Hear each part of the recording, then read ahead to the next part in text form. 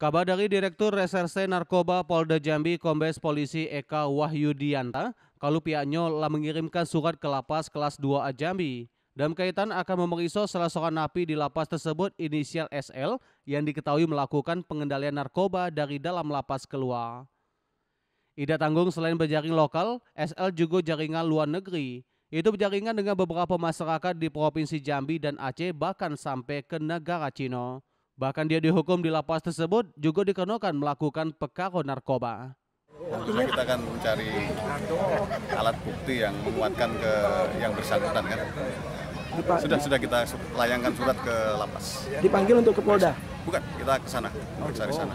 Karena kan lapas. Masih Sudah diperiksa Pak? Eh, belum. Nanti kita ke sana, koordinasi, oke, kita ke sana kita periksa. Namanya siapa bang? SL, Satu orang Pak? SL, Satu orang? satu sementara Masih satu. diperiksa narkoba juga Pak?